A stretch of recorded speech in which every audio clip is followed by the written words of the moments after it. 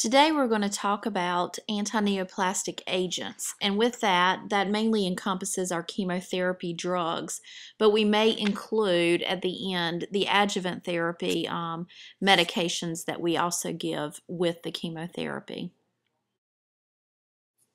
Cancer is actually a group of diseases in which abnormal cells grow out of control and they can even spread to other areas of the body.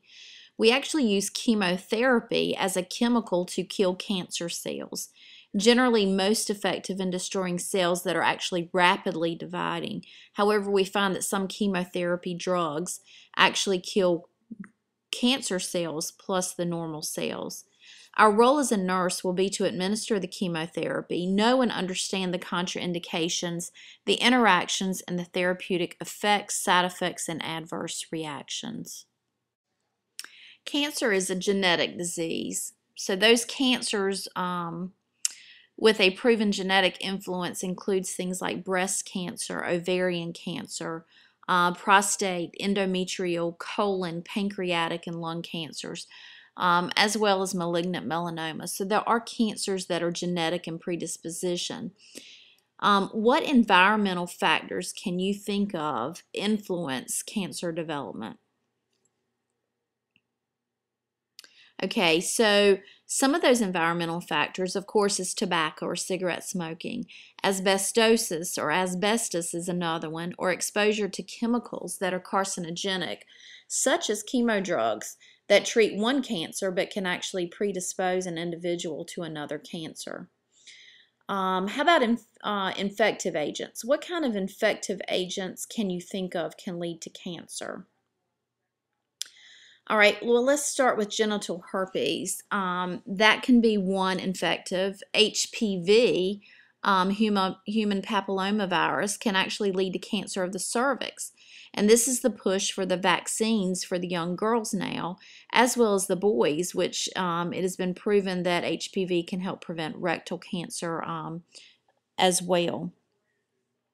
Hepatitis B and hepatitis C um, can actually lead into liver cancer.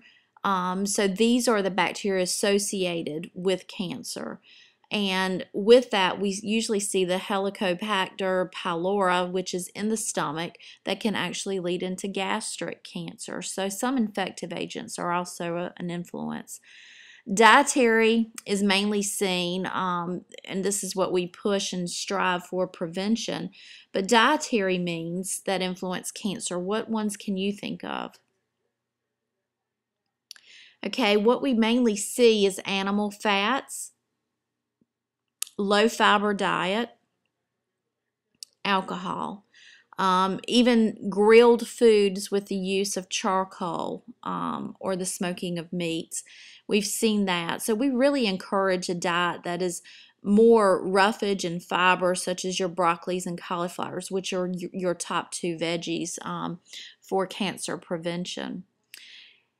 Think about it. If it takes a long time before enough mutation occurs to cause cancer, which population is cancer most common, commonly found in? And that would be your older adults. Okay, this slide you can pretty much read, but environmental is lifestyles such as smoking, diet, and inactivity, as well as exposures to chemical and radiations um, is our environmental.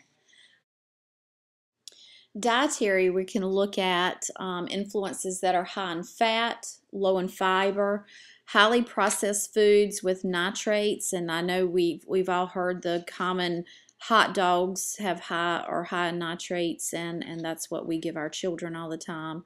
Generally just an unhealthy diet um, increases our risk for for cancer.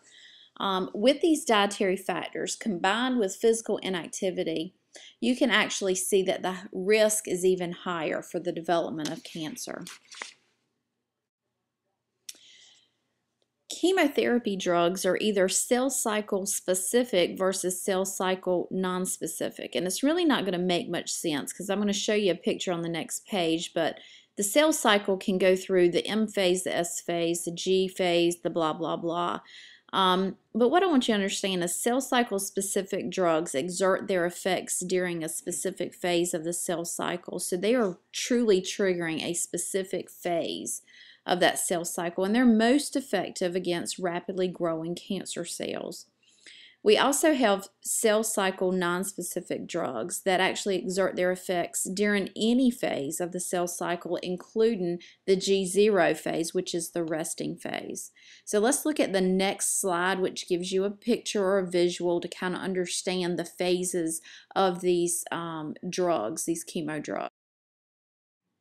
As you can see from this slide, um, if you look at the circle, there's many phases of the cell cycle from the mitosis, the gap, the synthesis, and the gap 2 um, to the G0, which is the resting. As long as they're going around the circle, around the circle is cell cycle specific. And as you can see in the mitosis, you've got the vinca and alkaloid taxane group. Um, in the synthesis, you have the antimetabolites. In the GAP2, you have your um, podophyllotoxins um, and the top word, top word. So all of these are specific during a cell cycle and most active against rapid growing cancer cells. So just remember this. Cell specific, most rapid growing cancer cells, and that includes your groups of alkaloids, antimetabolites, and the podophyllotoxins.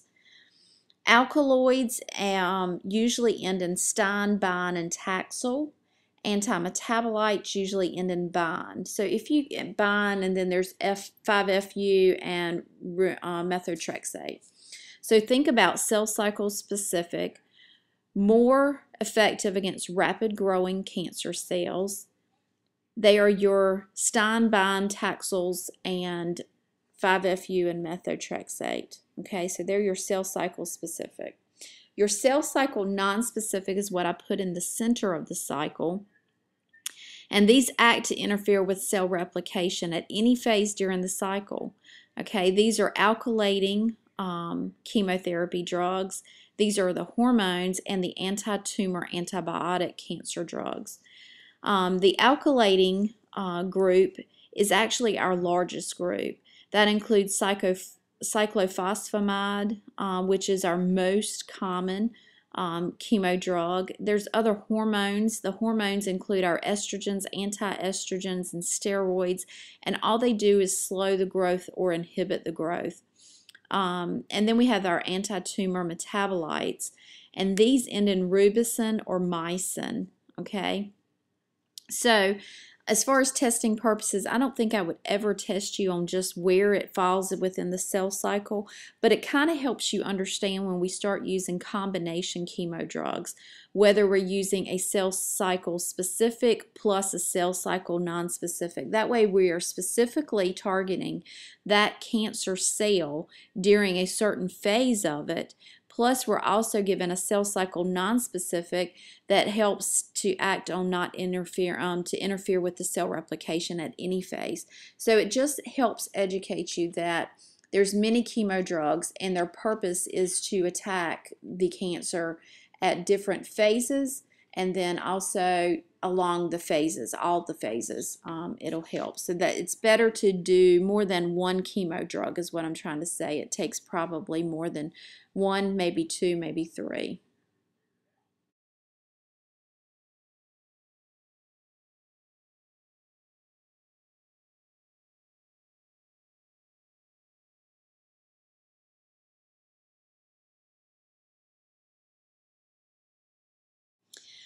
Chemotherapy is what we call anti-cancer drugs, okay? Anti-cancer is against cancer. Um, they are not selective, which means the chemo does not select which cells to destroy, okay? It destroys both good cells and cancer cells. When you look at the normal cells that are affected, the normal cells are able to repair themselves and continue to grow, which causes the side effects to be temporary. But with cancer cells, these are less able to repair themselves because they're already damaged due to mutation, which is why the chemotherapy is actually effective. So remember, anti-cancer or chemo drugs destroy normal cells and good cells. The normal cells can repair themselves, but the um, cancer cells cannot. Which route is considered systemic? Okay, that would be intravenous. Intravenous is actually best for cancer that has actually spread to other parts of the body, has gone more systemically. Um, it's also beneficial for tumors in multiple sites or tumors too large to be removed through other means. But there are other routes in which we give chemotherapy. We can give it orally, IM, sub-Q, intraperitoneal, which is within the peritoneal cavity, intrathecal, which is within the cerebrospinal fluid of the spinal cord, intracavitary or intravesical within the bladder, intraarterial, and topical. Sometimes we can implant them um, and let them sit there. Okay, so um, there's many different routes for chemotherapy, and it's always specific to which cancer it's trying to treat. In the next couple of slides, we're going to talk about the side effects and adverse reactions. Um, there is a table in your book, I believe it's table 37.2, um, unless I haven't updated it with the new book. But there is a table talking about the um, side effects of chemotherapy. So study and be familiar with those side effects as we present, um, proceed forward.